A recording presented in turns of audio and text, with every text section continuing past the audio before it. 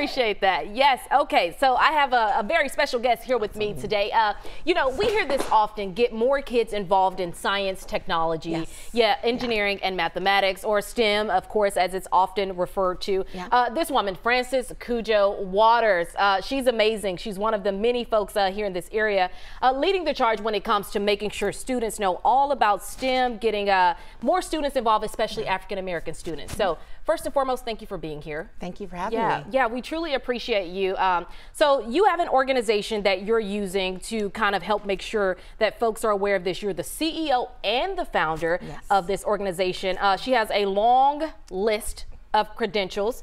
Graduated from Stanford University, uh, also Harvard Law School, um, and you just have a long list of things. So tell us about this organization that you sure. created.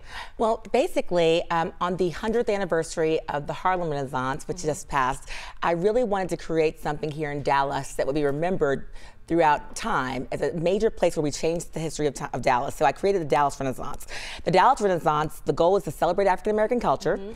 and to change the narrative. I think there's so many negative stories out there about what our children are doing, so many negative things about what our culture is doing, and we don't celebrate enough. Sure the wonderful things that we've done in our culture. So uh, we are very involved in the arts district. I've been involved for years, um, just served on different boards, and I think it's important to celebrate all cultures. But I realized there was a void here in Dallas and that no one was really focusing on the wonders and the amazing opportunities in African American culture. So that was what it was founded to do. So we're founded there. We're collaborating with different cultural, educational, and other kinds of organizations, and then doing our own events like this event that's coming up on January 25th. But the goal was really to celebrate African American culture to change the narrative mm -hmm. and to really make sure that people have a good sense of um, what our history and culture have been, and that our children have a sense of all that they can become. I love all that. And even recently in one of your uh, TED Talks, the TED Talk wasn't recently, but a TED Talk that you did back in 2017, correct?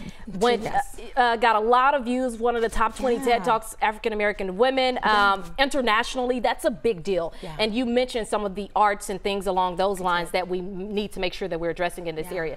So talk about the event, uh, the Dallas Renaissance that's coming up. Sure. So, um, so yeah, so, and that it was ironic it was two years ago this December, and I talked about arts and culture. At the time, I had just finished serving as the um, chair of the Confederate Monuments Task Force, and I was talking about the need for inclusivity. And so I've worked since then to make a difference. Mm -hmm. I really, my mantra has always been be helpful or be quiet. Mm -hmm. So I want to be helpful. Yes. So coming up, our first event for the Dallas Renaissance will be this uh, January 25th. It will be um, all night long. We're taking over the museum. It's our night at the museum.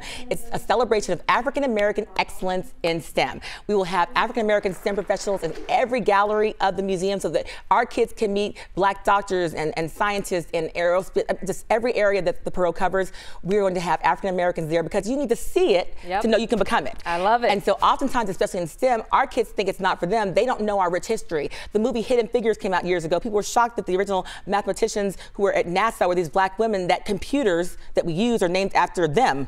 They were the computers. So I want them to see who they are.